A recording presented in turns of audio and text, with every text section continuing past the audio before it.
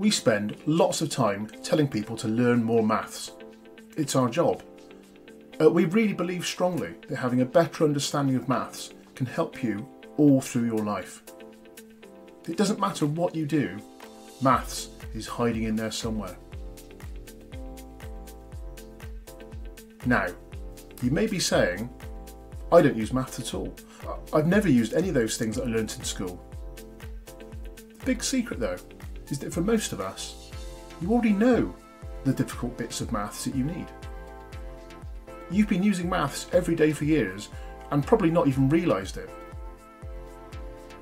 Booking a holiday, times, costs, return flights, comparing the best deals, maths.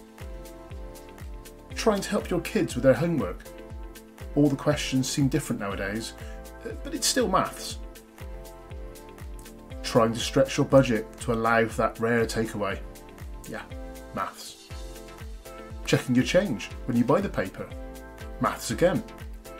Reading the paper, trying to work out if they're actually telling the truth. You guessed it, more maths. So, if I'm telling you that maths is everywhere and you're already coping, why am I writing a script and making it into a video and wasting your time and mine? Simple. We know that improving your skills that little bit more is going to be a huge benefit to you in all aspects of your life.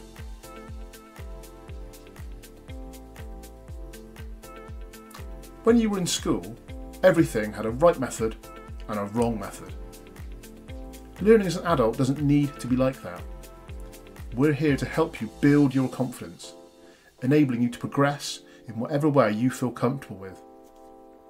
That's why when we run our classes for adults, they're full of games, chatting, and cups of tea. Schools are all about cramming your brains with facts and figures. But as an adult, we want to build confidence and make you relaxed about using those facts and figures that you already know.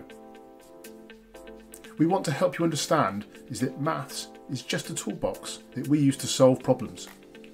You probably have plenty of different maths tools already, even if you only half remember them. What we plan to do in our courses is to help you see how you can apply these things that you already know and give you the confidence to grab that toolbox and use it more often. Get maths, get on.